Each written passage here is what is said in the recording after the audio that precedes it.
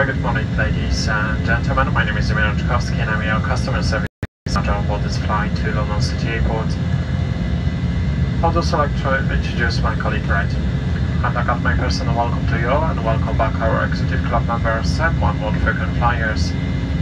If there's something we can do to make journey more comfortable, please let us know. We hope you enjoy flying with us today.